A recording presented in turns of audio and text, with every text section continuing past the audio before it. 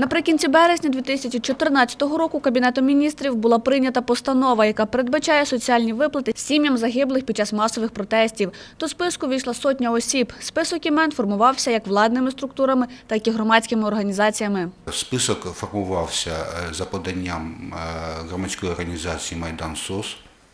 Після цього він е, опрацьовувався в міністерстві, з'ясовували питання включення до списку інших категорій е, з іншими організаціями. Вибачте. І відповідно після цього він погоджувався з Міністерством оборони, Міністерством внутрішніх справ і Міністерством охорони здоров'я. Після цього був затверджувався, затверджувався наказ і таким чином формувався список.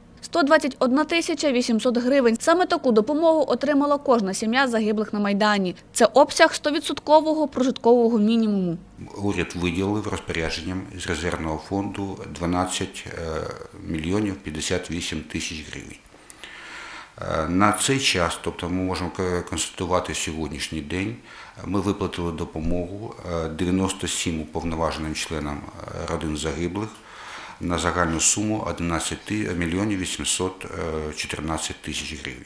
За словами Віталія Мущиніна, наразі здійснюється виплата у зв'язку із стратою годувальника 64 загиблим особам. Також, як зазначив заступник міністра соцполітики, були внесені зміни до постанови, а саме змінений розмір суми доплати. На цей час е, законодавчо врегульовано питання виплати е, допомоги на одну на одного непрацездатного 5 тисяч гривень, 6,5 тисяч два непрацездатних, троє більше е, 8,5 тисяч гривень.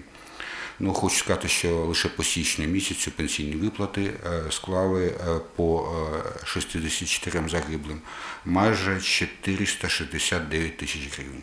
Також Віталій Мущинін повідомив, що на сьогодні не здійснено виплати представникам трьох загиблих. Зокрема, не отримала державну допомогу родина загиблого Хурція Зураба, оскільки ні мати загиблого, яка проживає в Грузії, ні її уповноважений представник з відповідним проханням не зверталися. Ще в одному випадку члени сім'ї загиблого між собою не можуть вирішити пропорційність її отримання. У третьому випадку члени сім'ї загиблого відсутні.